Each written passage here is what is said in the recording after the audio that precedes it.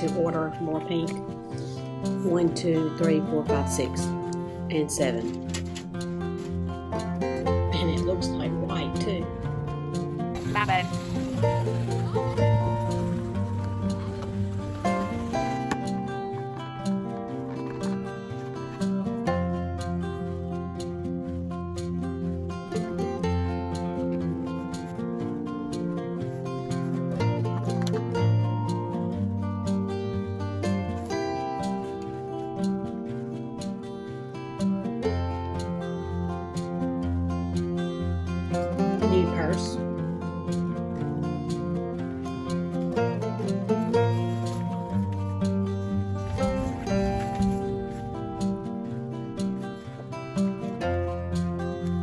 Protecting the white poster board by putting that book page under there.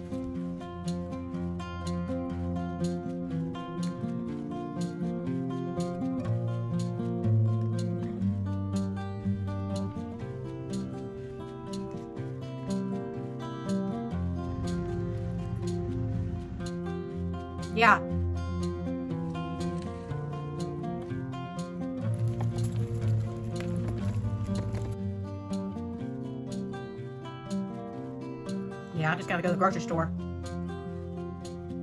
UV protection. Okay. It has a zipper on the outside. Okay.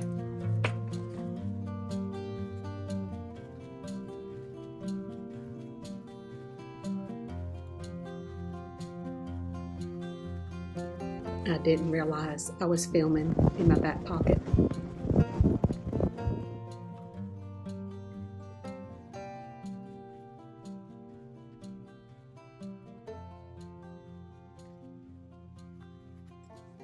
This particular week was a busy week around here. I got a couple things in the mail that I purchased off of Amazon, getting ready for Easter and collecting some umbrellas that would protect us while we were at soccer games, as well as a new little crossbody purse. And I spent two days this particular week helping keep my grandson because he was sick and needed to be out of daycare. Squirrel.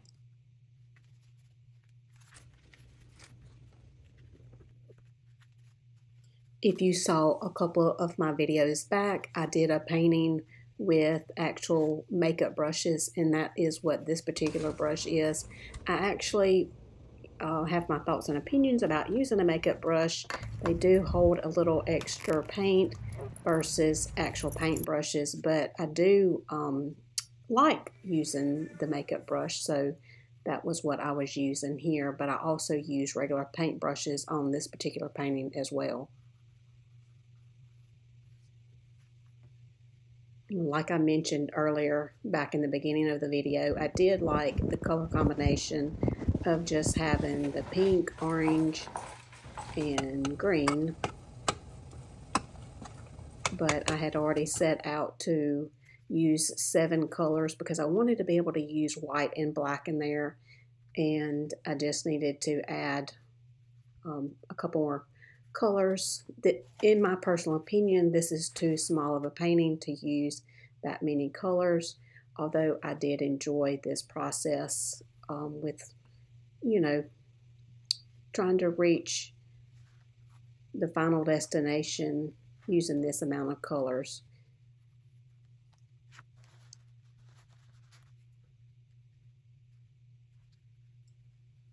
Are you and your family ready for Easter? I guess mine is. The pair of shoes that I show in this video is for my daughter to use for Easter. I have not even found a dress or anything. I'll probably just wear something that I already have Used to, I thought that I had to have a new dress every year, but the older I've gotten, I don't necessarily always do that.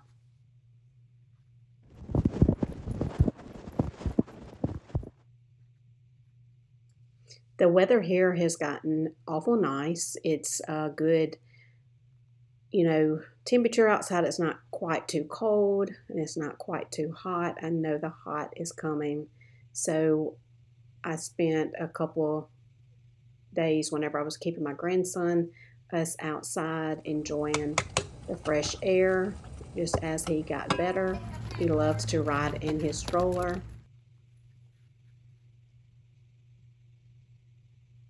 What is something that you do outside of your art? Art being with paint or art with makeup or art with writing, you know, whatever your form of art is, what is something else that you do?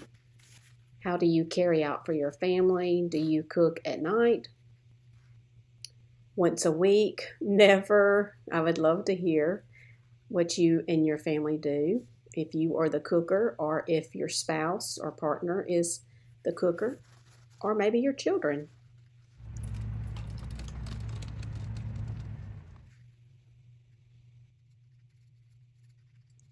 If you are not new here, you know that really and truly I don't like to stop on a painting, even though I did say I liked those couple of few colors early on. I really do like getting in there and getting messy and just keep adding, adding, adding.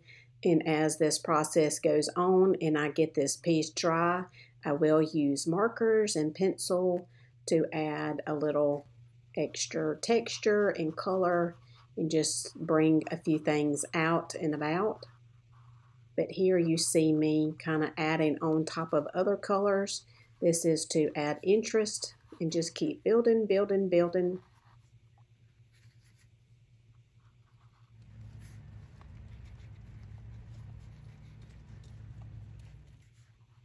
I've still been on the schedule where I'm filming and editing the same week. And I tell you, I really am ready to get back to the schedule that I had earlier this year where I was uh, filming, but editing that week, editing the video that I filmed the week before because it seems like it is just a little more pressure trying to do both in one week of the same particular video. I feel a little more pressed with time, and I don't know who's to know. Even if I went back, maybe my time this season of the year is just a little more intense with family obligations and other things going on in my life. So I don't know if I can get past Easter or whatever, I may revert back to that scheduling to see how it goes for me. If I do that, I'll keep you updated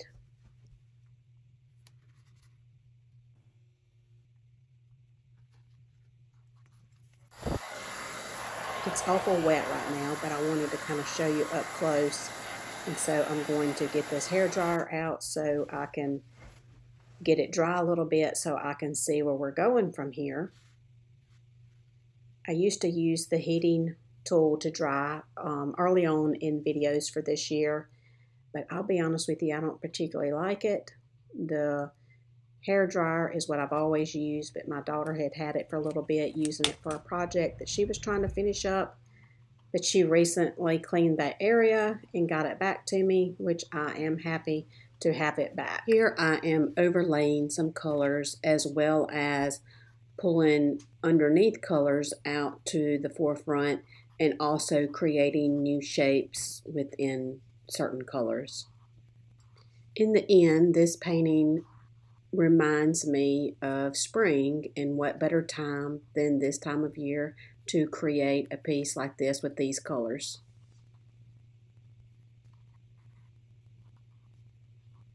If you noticed early on in this video, I gathered a couple pieces of paper, the book pages, a dictionary page, and just a piece of uh, paper, I believe it was oatmeal wrapper.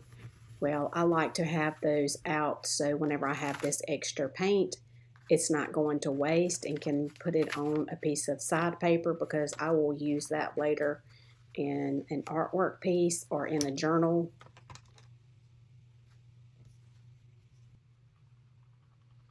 It's always good to go ahead and just set those out before you start painting. That way you have them on hand. While the white paint was still a little wet, I used that damp brush to kind of smear some of that white to tone some areas down and just kind of mix and allow things to flow together. Carrots, celery, and onion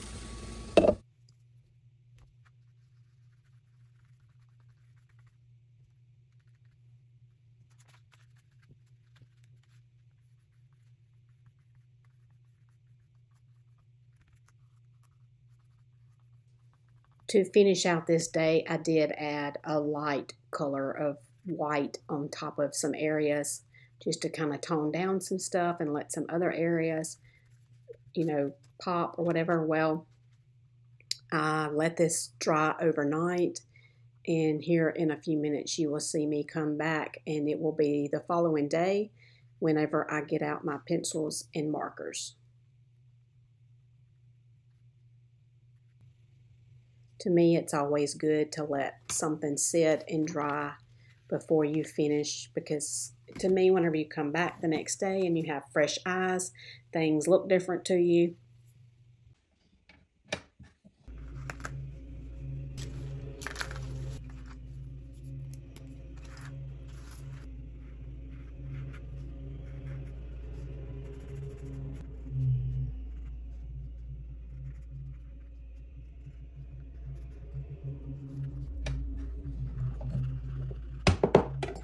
Playing with an old phone that belonged to my grandmother.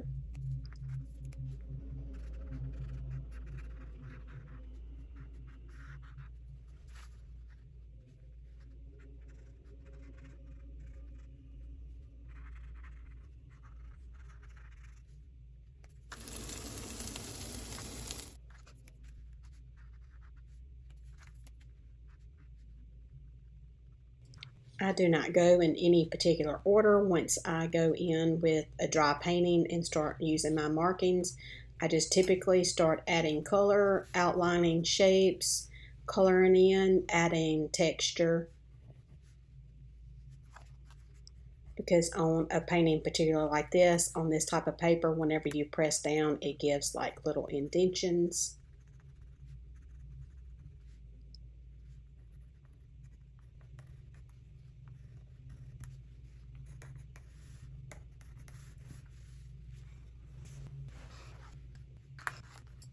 This part here with the green pencil is probably one of my favorite parts of this particular painting.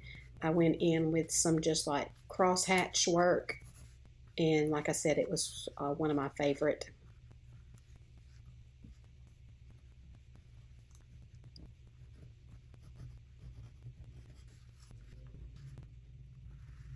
not only do I use a black colored pencil, but I also still use my black pen and my black Sharpie because each one just provides a different shade of black and a different type of marking.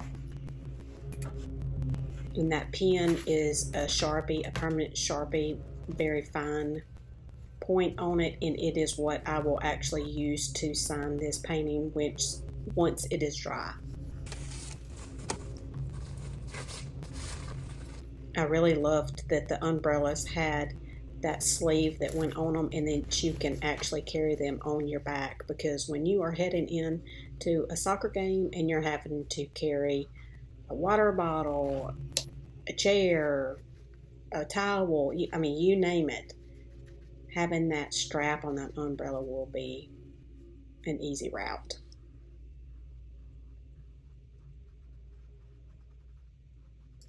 I had recently picked up two other umbrellas that same exact size at my local grocery store, but once I got home with them, I realized they did not have any UV protection, and that really was one of my uh, top aims, being as I am a melanoma survivor, but also it helps keep the heat off of you more. I've had other umbrellas in the past that has no protection, and it just you still just get blazing hot out there. So anyway, I ended up taking those two umbrellas back to the local grocery store once I got home and realized and that's when I got on Amazon and ordered these two. I'm really excited about them. it seems that it is hard to find good umbrellas locally. That's why I kind of jumped on the ones at the grocery store.